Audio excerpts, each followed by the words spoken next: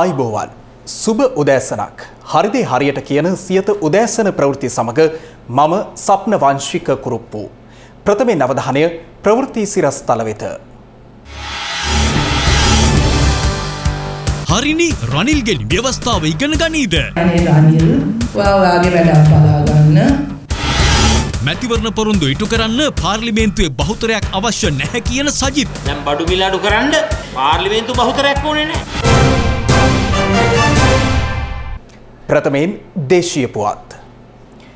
ව්‍යවස්ථාවේ මූලික හරයවත් දන්නේ නැති රනිල් වික්‍රමසිංහගෙන් ඒ ගැන ඉගෙන ගැනීම විහිළුවක් බව අග්‍රාමාත්‍ය ආචාර්ය හරිනි අමරසූරිය පවසනවා. හිටපු ජනාධිපති රනිල් වික්‍රමසිංහ සිදු කළ ප්‍රකාශයකට පිළිතුරු ලබා දෙමිනුයි ඇය මේ බව පැවසුවේ. ඒ බෝකුන්දර ප්‍රදේශයේ පැවති ජනහමුවකට එක්වෙමිනුයි. ජාතික ජනබලවේගය සංවිධාන කළ තවත් ජනහමුවක් බෝකුන්දරදී පැවැත්වුණා. ඒ අග්‍රාමාත්‍ය ආචාර්ය හරිනි අමරසූරියගේ ප්‍රධානත්වෙනුයි. රනිල් වික්‍රමසිංහ කියලා තියෙනවා ව්‍යවස්ථාව ගැන හරිනී දන්නේ ඒ නිසා ව්‍යවස්ථාව ගැන දැනගන්න ඕන නම් එයා කියලා දෙන්නම් කියන ව්‍යවස්ථාව. මම අහන්නේ ජනතාව මෙච්චර වතාවක් ඔහුව පරාජ කී වතාවක්ද මන් දන්නේ එනේන මැතිවරණයෙන් පරාජය වෙනවා. දාහත් පාරක් ප්‍රතික්ෂේප වෙලා තාම යන්නේ තාම යන්නේ එල්ලි එල්ලි එනවා. ඔහුට තේරුම් ගන්න බෑ එකක් මේ රටේ ජනතාවත් වෙනස්ලා ජනතාව ඔහුව ප්‍රතික්ෂේප කළා ඉවරයි අපි මේ අලුත් ගමනක යන්නේ. හැබැයි ලොකුම විහිළුව රනිල් වික්‍රමසිංහ කියනවා එයාට පුළුවන් ව්‍යවස්ථාව ගැන කියලා දෙන්න. මම කියන්නේ ව්‍යවස්ථාවේ අපිට තියෙන ප්‍රධානම වගන්තියක් මොකද්ද? ජනතාව තුල පරමාධිපත්‍ය බලය තියෙනවා කියලා. මේකවත් තේරුම් ගත්තේ නැති රනිල් වික්‍රමසිංහ දන්න ව්‍යවස්ථාව මොකද්ද කියලා මම නම් දන්නේ. මොකෝ ඒක හරියට දන්න කෙනෙක් මැතිවරණ කල් දාන්නේ ව්‍යවස්ථා සභාවේ තීන්දුව තීරණ වලට පයින් ගහන්නේ ව්‍යවස්ථා සභාවේ සමාජිකයන්ට බලපෑම් කරන්නේ අධිකරණයට බලපෑම් කරන්නේ Tamanට ඕන විදිය තීන්දුව තීරණ දුන්නේ නැහැ කියලා. ඔය මූලික ටික දැනගෙන ඉන්න ඕනේ මං හිතන්නේ ව්‍යවස්ථාව ගැන මට පාඩම් උගන්වලා දෙනවා. රනිල් වික්‍රමසිංහගෙන් ව්‍යවස්ථාව ඉගෙන ගත්තා කියලා මම කිව්වොත් ඕගොල්ලෝ කියයි කරුණා කරලා ගිහිල්ලා ඔළුව බලා ගන්න මේ අගමැතිකම පැත්තක තියලා කියලා බෙහෙත් ගන්න කියලා කියයි මට. ඒ නිසා අනේ රනිල් ඔයා ඔයාගේ වැඩක් බලා ගන්න අපිට උත්තර බඳින්න තියෙන්නේ ඔයත් එක්ක නෙවෙයි අපි උත්තර බඳින්නේ මේ රටේ ජනතාව එක්ක. ජනතාවට සහන දෙන්න පාර්ලිමේන්තුවේ බහුතරය අවශ්‍ය නැති බව හිටපු විපක්ෂනායක සජිත් ප්‍රේමදාස පවසනවා. ඔහු මේ බව ප්‍රකාශ කළේ මැද කොළඹදී පැවති ජනහමුවකට එක්වෙමිනුයි. හිටපු විපක්ෂනායක සජිත් ප්‍රේමදාසගේ ප්‍රධානත්වයෙන් මැද කොළඹදී ජන හමුවක් පැවැත්වුණා. රටේ සමස්ත ජනතාව බලාපොරොත්තු වුණා අනුර කුමාර දිසානායක ජනාධිපතිවරයා පත් වුණාම පොරොන්දුණු සහන ටික ලබා දෙයි. නමුත් මේ වෙනතෙක් අඩු කරනවායි කියපු විදුලි බිල අඩු කරලා නැහැ. අඩු කරනවායි කියපු බඩු බිල අඩු කරෙත් නැහැ. අඩු කරන්නෙත් නැහැ. දැන් බඩු බිල අඩු කරන්න පාර්ලිමේන්තු බහුතරයක් ඕනේ නැහැ. විදුලි බිල අඩු කරන්න පාර්ලිමේන්තු බහුතරයක් අවශ්‍ය නැහැ. පාස්පෝට් ප්‍රශ්නේ විසඳන්න පාර්ලිමේන්තු බහුතරයක් ඕනේ නැහැ. ජනාධිපතිවරණ වේදිකාවේ කිව්වේ IMF එක කියන කියන විදිහට අපි නටන්නේ නැහැ නමුත් අවසානයේ මේ රජය IMF එකේ පදයට නටන රූකඩයක් බවට පත් දැන් මම ඔබට කියන්න කැමතියි. අපි මහමැතිවරණයේ ජයග්‍රහණය කරලා පාර්ලිමේන්තුවේ බහුතරය ලබාගෙන අපේ ආණ්ඩුව අපි පිහිටවනකොට මම වගකීමෙන් කියනවා IMF එකත් එක්ක කතා කරලා බදු බර අඩු කරනවා බඩු මිල අඩු කරනවා විදුලි බිලත් අඩු කරනවා මේ හැමදේම පිළිබඳව අපි ජනාධිපතිවරණයටත් පෙර IMF එකත් එක්ක සාකච්ඡා කරලා එකගතාවයකට අවිල්ලත් ඉවරයි. එළමෙන මහමැතිවරණයේදී අපි විශ්වාස කරනවා පාර්ලිමේන්තුවේ බහුතර බලයත් එක්ක අපි අපේ ආණ්ඩුව පොදු ජන ආණ්ඩුව අපි අනිවාර්යයෙන්ම බිහි කරනවා. රටේ වත්මන් තත්ත්වය සම්බන්ධයෙන් ඇසුණු කතා දැන්. අගමැතිකම ඉල්ලගෙන අනුර සරණං ගච්ඡාමි හරිනි සරණං ගච්ඡාමි විජිත සරණං ගච්ඡාමි කියන එකට ඡන්දෙ දීලා වැඩක් නැහැ. එයා විදුලි බිල අඩු කළාලු. තෙල් මිල අඩු කළාලු. අපි දැන් මේ සූත්‍රය අනුව තෙල් මිල මේ අවුරුද්ද අවසාන වෙනකන් අඩු වෙන්න පුළුවන්. විදුලි මිලත් අඩු වෙනවා. දැන් මට පින් සිද්ධ වෙන්න ඕක වෙන්නේ මට පාම්පත්තු කරන්න කියලා ඒගොල්ලෝ නිවන් දකින්න හදන.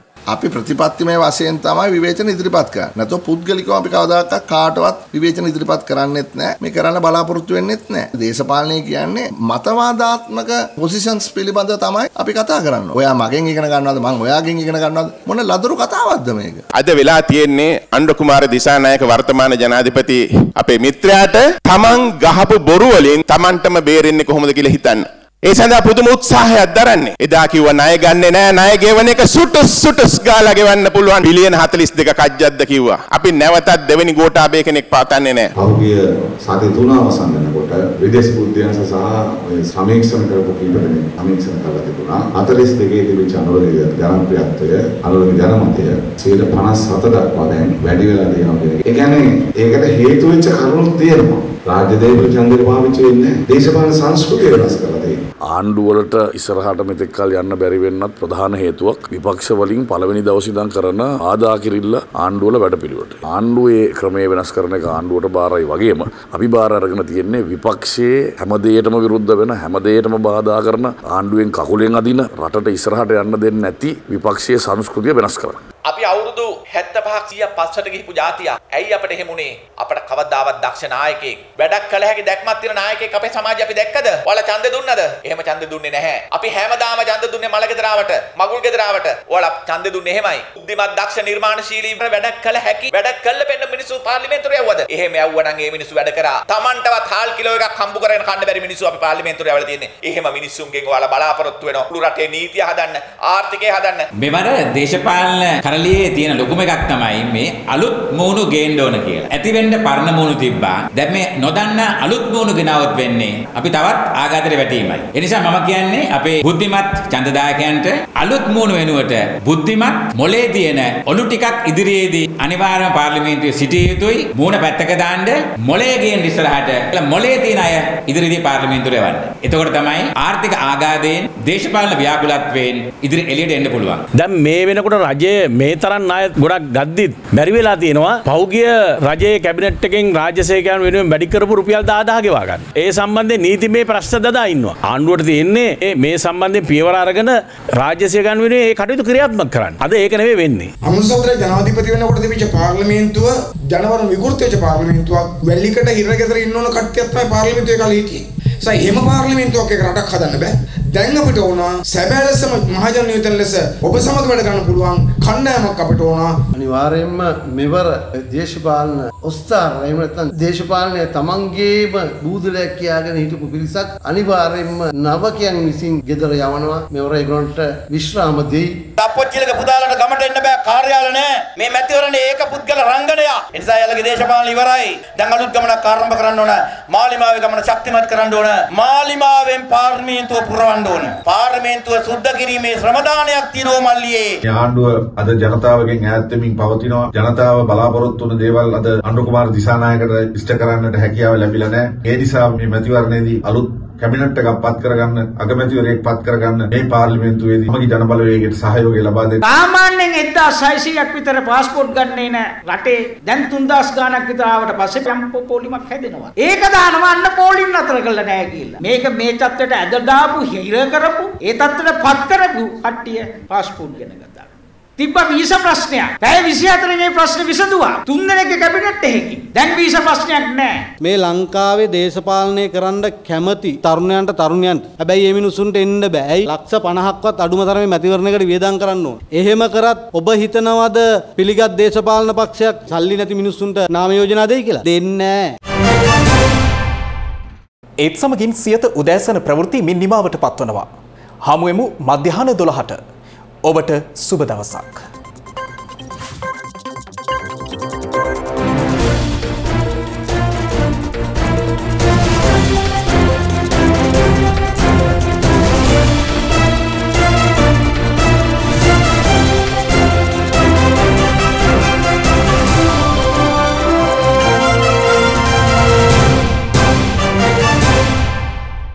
රටේ ලෝකෙ සිදුවන උණුසුම් පුවත් දැනගන්න සියත නිවස් YouTube චැනල් එක අදම සබස්ක්‍රයිබ් කරන්න.